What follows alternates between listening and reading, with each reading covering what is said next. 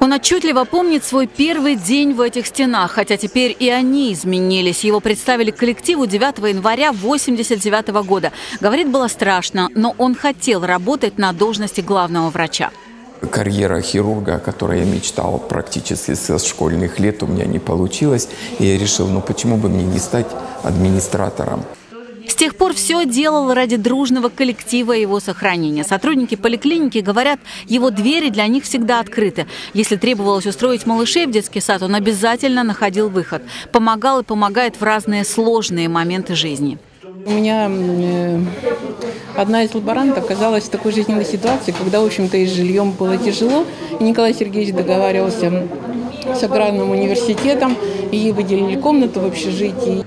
Уже 20 лет рядом с Николаем Сергеевичем работает супруга Вера Юрьевна. Казалось бы, 24 часа вместе. Можно и устать друг от друга, но нет. Рассказывает, что она его подпитка. Всегда помогает. Вместе они решают всевозможные проблемы. Сейчас очень остро показал пример. Это ковидный год. Это просто было ну, очень тяжело, очень страшно даже.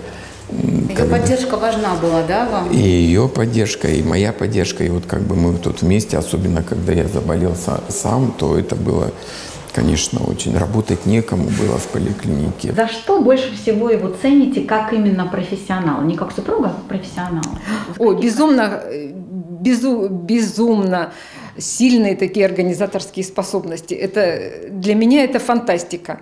Я говорить могу сейчас много, но для меня, например, разговаривать по телефону – это пытка. Решать какие-то вопросы. Лично еще ладно, но но Николай Сергеевич, вот организовать э, круг общения, решить вопросы запросто, он никогда не стесняется, у него это замечательно получается, я завидую. За годы работы Карпова коллектив вырос практически вдвое. Сейчас это 250 человек. Изменился и внутренний облик поликлиники. Это тоже отчасти заслуга Николая Сергеевича. Здесь все вопросы решаются, все. Главврач, знаете, наверное, как и положено руководителю, он всегда в гуще всех событий. Э, как-то помню, наблюдала сбой э, компьютеров, и в регистратуре была большая очередь, шум, что-то. Он мигом все выяснил, все, все распределил, кого куда. Трое дочерей Николая Карпова не пошли по стопам родителей, но они всегда рядом, как и многочисленные внуки. Совместные вечера на даче помогают отвлечься от будней. Когда-нибудь предлагали вам перейти, может быть, в какое-то другое место? Да. А вы что? Почему здесь остались я, Я отказывался. Сначала я отказывался, потому что э, я еще не все сделал в, этой, в этом лечебном учреждении. А потом говорил о том, что я уже столько сделал, зачем мне отсюда уходить.